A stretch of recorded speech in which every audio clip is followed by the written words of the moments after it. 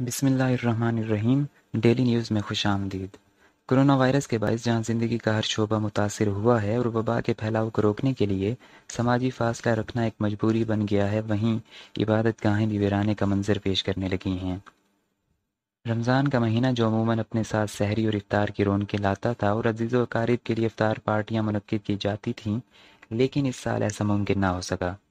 दुनिया भर में रमज़ान का महीना कैसे मनाया जा रहा है? देखिए फ्रांसीसी खबर एजेंसी रोटर्स की तस्वीर में।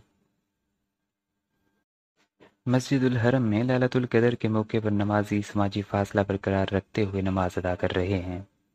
लबनान के कदीमी शहर सैदून में रमज़ान के मौके पर एक म्यूज़िक स्काउट मजहबी कलाम की धुनें बजा रहा है। इराक के शहर नजफ में हज़रत अली रज़ी अल्लाह के रोज़े पर लोग इबादत में मशगूल हैं।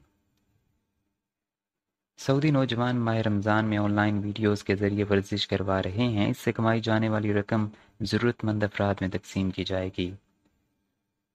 अफ़गानिस्तान के दारकूमत काबुल की एक मस्जिद में बेघर बच्चे कुरान पढ़ रहे हैं। फ़लस्तीन के शहर गजा में एक शख्स समंदर के किनारे भुट्टे फ़रोख्त कर रहा है। ईरान के दारकूमत तहरान में एक बच्चा ज़रूरतमंद अफराद में तकसीम किए जाने वाले राशन को तरतीब दे रहा है। एक फ़लस्तीनी खातून अपने शोहर के साथ वीडियो कॉल के ज़रिए इकट्ठे इफ्तार कर रही हैं। इनके शोहर फ़लस्तीन के एक अस्पताल में बतौर नर्स कोरोना के मरीजों की देखभाल करते हैं। शुमाली यरूशलेम के शहर नाबलिस में एक शख्स कदीम रवायत के मुताबिक सहरी के लिए लोगों को जगा रहा है।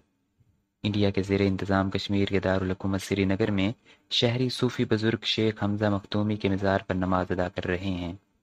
अमेरिका के दारकूमत वाशिंगटन में एक मुसलमान फैमिली रोज़ा इफ्तार कर रही है।